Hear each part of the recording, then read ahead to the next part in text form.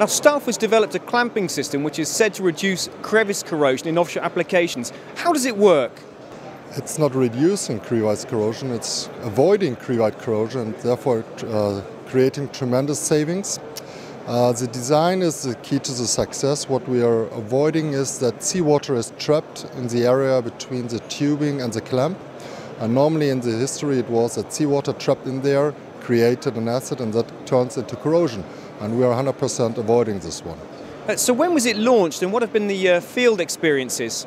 So it was developed over the past years and before we are launching it in Kotel we had long-term field testings in the Dutch sector of the North Sea yeah, and in other areas of the world, so working with big OEMs and we had test panels and so we are trying to, to find a complete long-term solution on this one.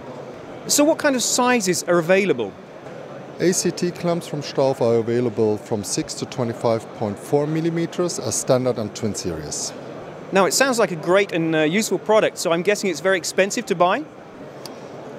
To buy it's another value of course, money to spend, yeah, but the total cost of ownership makes it more than worth to, to spend the money in ACT clamps than installing new uh, tubings because of corrosion after a while. So if people do want to buy this, where should they go? They should go to stauff.com slash ACT and then we organize it. We have many footprints around the world where we do have local stock, but we can handle the centralized file would be stauff.com slash ACT.